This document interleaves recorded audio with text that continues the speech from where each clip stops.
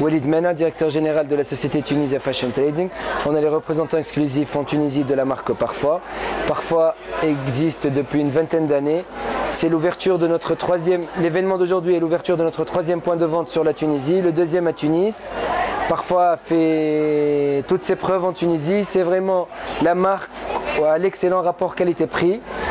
Parfois aujourd'hui, c'est à peu près, on parle de 600-650 magasins dans le monde. Parfois existe dans une cinquantaine de pays. Parfois en Tunisie aujourd'hui, on n'a même plus besoin de la présenter. Tout le monde connaît très très bien parfois. Parfois bien a fait ses preuves. C'est une marque qui marche très très bien. Euh, voilà, donc vous avez une idée sur Parfois. Vous êtes tous les bienvenus dans nos magasins, que ce soit à Lafayette, à Tunisien Mall, au Lac 2 ou à Sousse, au centre Champs-Élysées. De cette euh, deuxième boutique à Tunis et la troisième en Tunisie, dans un contexte pareil. Dans le contexte économique un peu difficile, où les investisseurs résignent vraiment à investir, nous on continue à investir, on croit vraiment en cette marque, on croit vraiment aux marques portugaises. La soirée d'aujourd'hui a été honorée par la présence de monsieur l'ambassadeur du Portugal qui n'arrête pas de nous appuyer par rapport à toutes les ouvertures, par rapport à tout ce qu'on a besoin.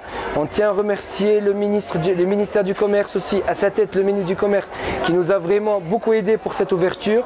L'Emen Bank à travers son PDG monsieur Ahmed Karam qui nous a honoré par sa participation à cette soirée. Nous sommes très fiers d'ouvrir ce magasin et de continuer à investir dans un pays qu'on adore et qu'on espère voir prospérer.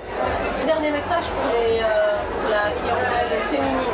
Comme vous connaissez parfois, on, on, sera toujours à la demande de toutes les clientes féminines et même masculines pour les cadeaux.